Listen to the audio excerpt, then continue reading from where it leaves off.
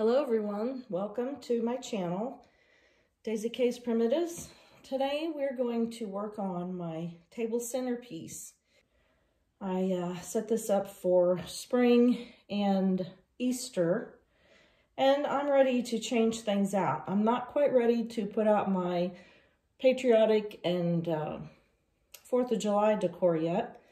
So I'm kind of going to maybe transition that way, but not go full blown. So I wanted to show you how I had it set prior, and then I will show you the elements that I'm going to use next, and then we'll put it together. So I went digging in my stash, and I found some things that I think I want to use, and I'll just go through them individually. I have some pip berries to just add texture and a little bit of color. This is a strand of dried blueberries. A little um, wool applique pin keep.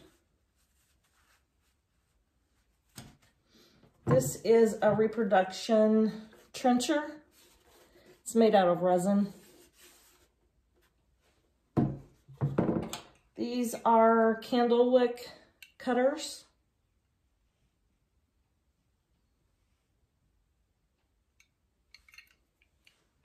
These are some blackened wax candles wrapped in stained cheesecloth.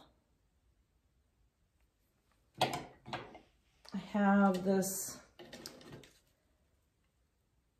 old wood pulp pitcher and it has some greens in it and some florals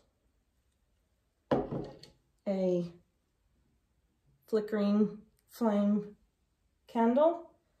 Over here I have a couple of textile uh, runners and then the candlesticks from the prior gathering. So those are the pieces that I've gathered to, that I think I'm going to use. And so next I'll clear this off and then I'll start layering in the pieces.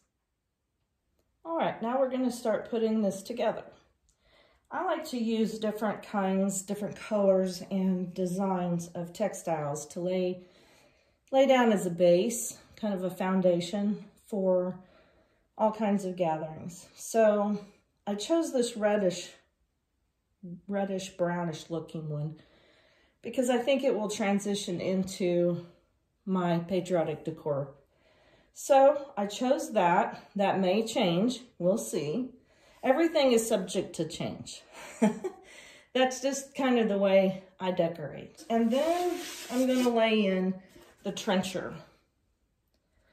And to add a little bit of interest, I don't think right now I'm going to lay, I'm going to place it straight on the runner. I'm just going to kind of angle it because I'm thinking we'll put other pieces on either end around it. So there's the trencher. That's the centerpiece. The next, I want to use the flickering flame candle. These are so cool. They're battery operated. And they just kind of give you a, a look of a flame. So cool. So I think I'll place that right there. I don't want this to be too symmetrical, so I'm going to offset that. Then the next piece, large thing that I think I will place in the trencher will be the blackened candles with the cheesecloth. And I'll kind of fluff that up a little bit. I've had these things forever. So I think I'll lay those right. Uh, let's lay them this way. Okay. So next, I want to put in the wick trimmers. These are really cool. They sometimes are candle snuffers, but this one is I think they could be both, a trimmer and a, a snuffer. I found those at an antique shop long time ago. So I will place those right there by the candles. All right. Now the next thing I think I want to add in will be some greenery. So I'm going to have to go find some. I will pull from my stash and whatever's around the house. So that's the next step, be back. Okay, I found, I pulled the pieces of um, greenery, which is called pepper grass. I've gotten these in different clumps or even in um, swags. This has been cut apart, but these are picks. And that's just a sprig from a leftover somewhere. So I'm going to place these in next. I like adding greenery to most everything. I may go a little overboard with it, but I just feel like it brings things to life. So I'm going to place a chunk of it in here, a pick by the candle. And then because this is in the dining room and we could potentially see this gathering from the back side, I want to add in some on that side. So I think I will place another piece of this, another pick right in there and kind of over overlay it a little bit onto the candles. Okay, so I'm liking that. Now I think we need a little bit more interest. And I think I will use the pip berries. They have a little bit more color. These also have little star shapes on them. So that can maybe transition into my patriotic decor when I make the change. So I'm gonna place those right back there by the candle. And I'm gonna kind of pull up a few sprigs of that. You may not be able to see it, but I'm gonna kind of pull them up so that they stand up a little bit more. Okay, looks like my candle batteries are about to wear out. All right, so now I'm going to lay, place these dried blueberry garland. I just like the way they look and they just add another texture. So I think I'm just gonna place those down here and kind of string them along.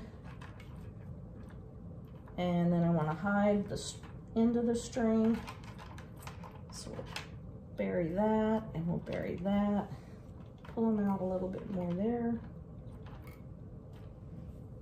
All right.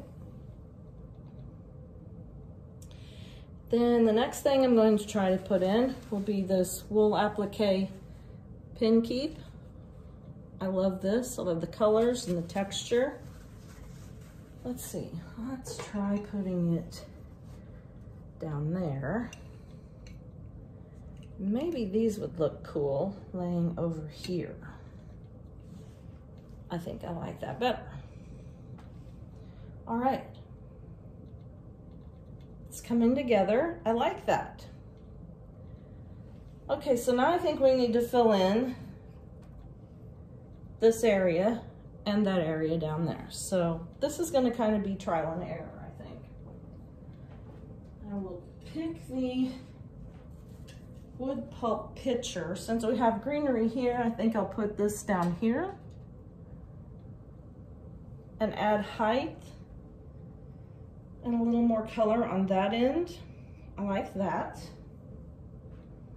And then let's see about adding one of these. This is called a hog scraper candle holder. So I think I'll put that there. Move those over, place that there. Put in my timer candle with fuzz all over it. Place that there. And I think we'll put the other one in also over here.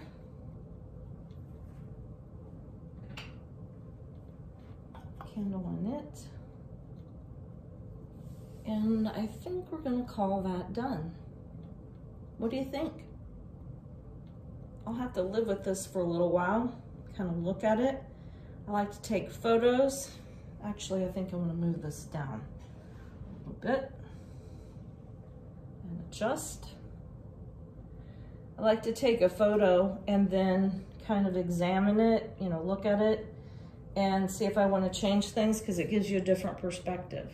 So I think that's our new end of spring centerpiece.